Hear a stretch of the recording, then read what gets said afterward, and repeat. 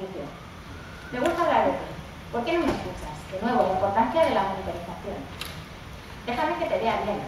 Abogados de Pinterest, de todas estas redes sociales muy basadas en la imagen que permite mostrar nuestro producto.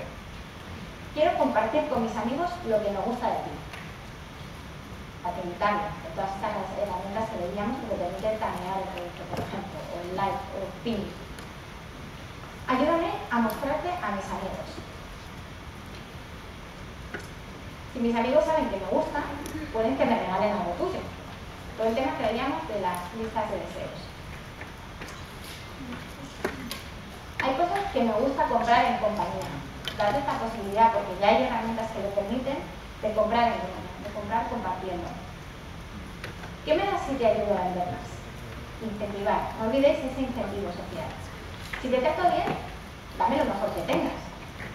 Preservaros esas exclusivas, esos productos especiales para gente en las redes sociales, si lo que queréis es vender en redes sociales. Premiame por ser el primero. Volvemos a esa experiencia de marketing trasladada al mundo de las redes sociales. Premiame por ser yo. Demuéstrame que me conoces.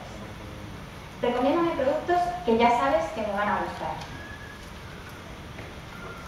Recuérdame lo que me gusta, si yo he hecho una trazabilidad que voy diciendo me gusta este producto, me gusta este otro, pues vuelven a recordar, sugiérenme productos similares. Pómelo fácil cuando te quiera comprar. Haz que te encuentre. Y no estoy hablando solo de SEO. ¿vale? Convénceme para entrar en tu tienda. Hazlo sugerente. Avísame si estás cerca, por el tema que hemos visto de reposicionamiento.